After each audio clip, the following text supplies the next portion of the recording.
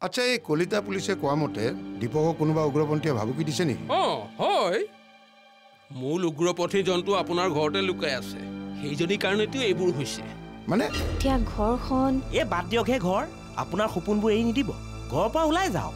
এই লাঠ মাৰি দিয়কহে এই বান্ধোন। ভাড়া ঘৰ। আজিৰ খণ্ডটি উপভোগ কৰক।